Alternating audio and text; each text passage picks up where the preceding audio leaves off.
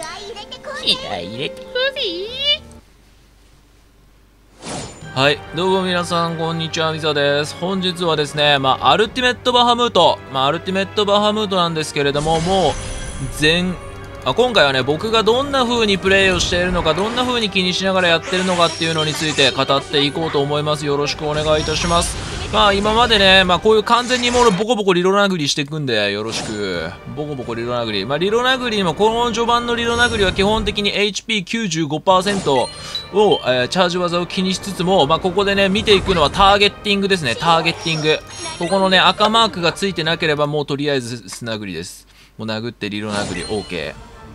で、ここで殴ってターゲッティングがつきましたね。ターゲッティングがついたらクリアオールを上げていく、この優しさを感じていってもらいましょう。ここで殴って、もうクリア、もうそこで、まあ、とりあえず85まで、その、この思考でいきます。85まで。はい、85来ました。85になったらファランクスをもらいます。100カットはね、気にしなくていいですね。ここで85気合でいきましょう。85いきました。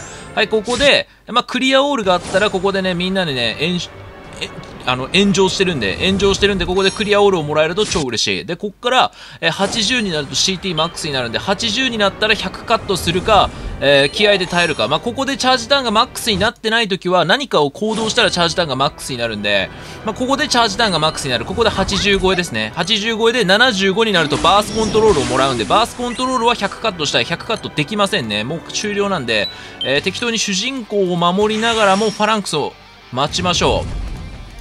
ちょっと待って、動けない。ファランクスを待ちながら、ファランクス来ましたね。ファランクスが来たんで、ここで、センチュリオンとソーンの1アビを使って、まあ、ここら辺で回避しときゃええやろうぐらいの気持ちで、避けていきます。これでバースコントロールでチェンジしましたね。死にそうになってたんで回復します。まあ、ここからは割とフリー。ここからは割とフリーなんで、よいしょ。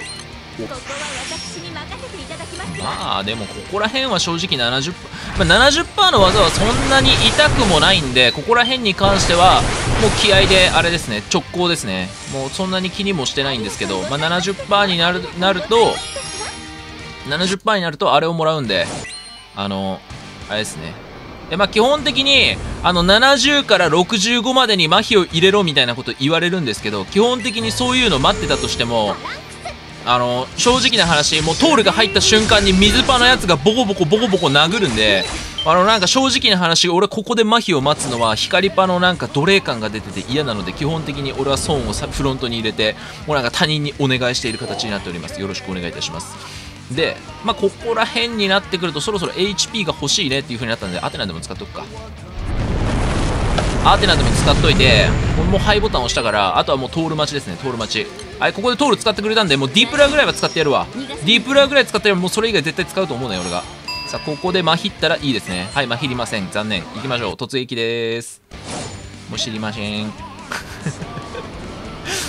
知りません。みんな殴るんだもん。しょうがないよ。レッツゴー。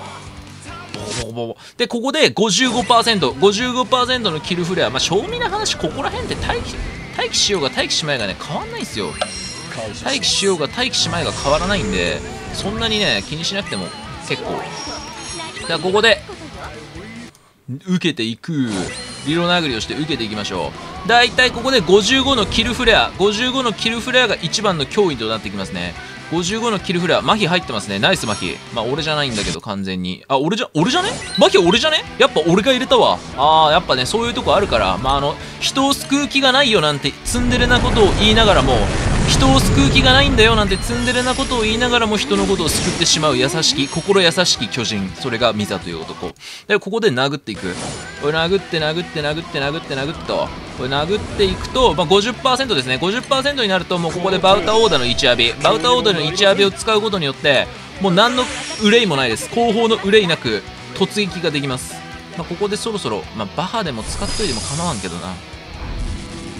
いやまあここは殴っときますか。ここでここで殴るとカバウを入ってるんでもう完全にバウターオーダーが落ちます。これで美しくフロントメンバー全員を出せるというナイスな構え。ここで蘇生でもしておきましょう。今のうちに準備ですね。バハムート。ピゴーで今のうちにここでチャージターンがマックスに、まあ、トゥポンが1枚ぐらいあったんで正直トゥポン1枚あれば DPS チェックはねもうそんなに気にせず突っ込めるんでもう何の憂いもなく殴ります。こいついつも何の憂いもなく殴ってんなって感じですけど今回は憂いなく殴っていきます。で光耐性ダウンをつけられると俺だけが貢献度を出して美味しいです。水パに貢献度は上げない。このまま殴っていきます。正直貢献度今何位か見てないけど。もう光耐性ダウンはねあの憎き水パに対しての憎き水パにあのいいことを与えられないんで逆に水パはあのこっちに喪失デバフを与えることができるのであのこっちにお得なんだけどこっちはもう光耐性ダウンを与えることしかないのでもうそういうちょっと少年の心の根の腐った感じをね出していけますね。レフィーエおすすめです。でここで、まあ、35%正直ここで突っ込んでもいいんですけどね。正直突っ込んでもいいけど突っ込まなくてもいい。どうだろうね、まあ、正直結構好みみたいなところあるけど、まあ、ここはね水パ様が 高速手のひら返し。水パ様がね何かしてくれるんで大体こういう時にあやべえもう無理だって思ったらなんかあのカドルの4アビを使ってねシュリーバトサを4連発して35%まで削ってくれるんで。はいもうここ35%いきます。ほら。もうここら辺のねダメージ管理に関してはもう完全に一級品ですよ。で、えー、34%これで CT6 ですね、まあ、ここら辺で待機しておきますか。よし。でこの間にえダメージを出しておくと。ここでもうあ危ないなって思ったらもうダメージを出して待機しておく。あチポン。チポン俺の。それ俺のチポン。はいチポンゲットです。これチポンをゲットするともう勝ち申したですね。完全に勝ち申したので殴っていきます。これ30%いったな。これではい。はいスタンプを確認して12今回俺30%トールです。はい60%はい6人行きましたのでここでトールを使用します。優しさの男トールを使用する。ドボーン。でここで弱体耐性ダウンを付与していく。弱体耐性を付与しながらここでここでねディプラも使ってあげるという名采配でファランクスを使われたので今のうちにこうやってで次気にするのは22%ですね。次28%で CT マックスになりますから。22%で CT マックスになりますから22%を気にしながらも、えーそのままボコスカウォーズですね。ボコスカウォーズ。ここでボコスカしてるうちに22%になるとなんかオメガブラストみたいな超強力ダメージがあるので最低ファランクス。まあでも正直ファランクスで受けとけば問題はないんですけどからちょっとアテナの枚数ここでケアしておきましょう。ここでアテナの枚数をケアしておかないとあの破局の時にアテナが間に合わなくて死ぬことがあるんでちょっとそこら辺は気をつけましょう。えここで22%になるまでさすがにここら辺はねあこれ22%になるわ。殴ります。絶対になるから。ほらほら。もうダメージ計算。もうダメージ計算の妙。完全なる理解。完全なる理解をしていく。ここでね殴り飛ばしていきます、まあ、正直15%ここで15%まで破局なので今のうちにここでしっかりアテナを上げていく。これが大事なところね。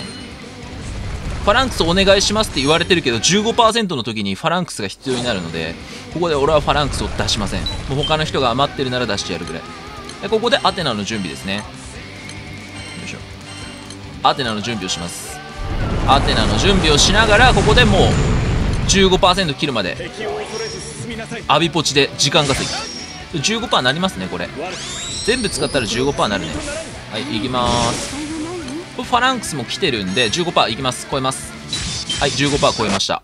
でここで、えー破局をもらいましたね。破局をもらって次は10%の待機です。10%の待機。突撃します。基本的に10%までデバフが消えないので好き勝手ここ好き勝手ボコ殴りタイムですね。ここは好き勝手ボコ殴りタイムなのでボコボコ殴っていきましょう。元気出たかも。これで11%ぐらいかな。はい OK あクリアオールねえとやべえわ。まあまあまあまあまあまあまあまあまあまあまあまあ。まあまあまあまあまあまあまあ。まあ主人公が落ちる可能性がありますね。まあ誤差でしょう。ちょっと待って。ファランクスファランクス。この優しさ。あここではい殴ったのでここでえー、なんかもらえますね 10%10% 10%をもらって、まあ、ここからはもう自由タイム。ここからは自由なボコスカウォーズなんですけれども。ここで5%になるとキルフレア。そして1%で超強力技が来て終了っていう感じですね。まあそろそろポーションが余ってたのでオールポーションぐらい作っていきましょう。